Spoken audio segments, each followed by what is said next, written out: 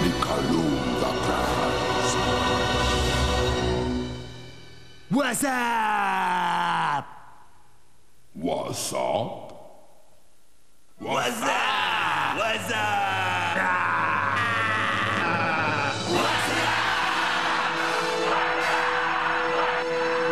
Oh man, we are not alone.